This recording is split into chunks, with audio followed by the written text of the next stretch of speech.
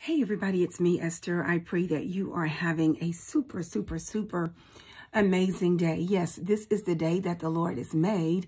We shall rejoice, rejoice, rejoice. We shall rejoice and we shall be glad in it. Yes, I am a little raspy, but um, it's all good. It's all good.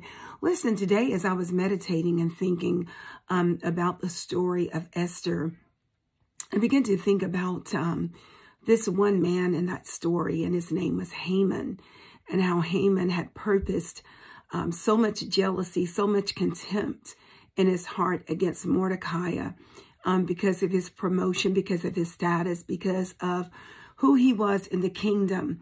Um, Haman really, really, really, really had a problem with Mordecai, and he had um, devised a plan, as we know the story goes, to destroy Mordecai.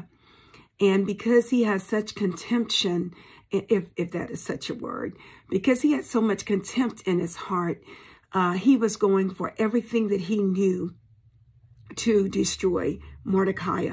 But one thing I know about the hand of God, the plan of God, the will of God, is that when there is a hedge of protection around you, that God has such a force of strength, such a force of power that it is impossible by any means for anyone to break or penetrate the will of God, um, that hedge of protection that he has around your life.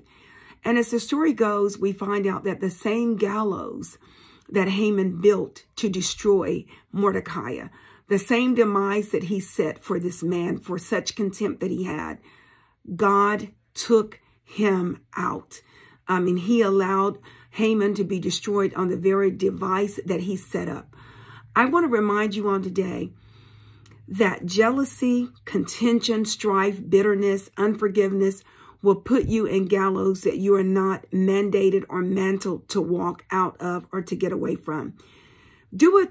Just take a, a moment today to do a self-evaluation and say, hey, I got to be greater than this whatever contempt, whatever contention, whatever bitterness, whatever hatefulness that I have toward a person, it's not worth me being self-destructed by the same gallows that I've built for someone else.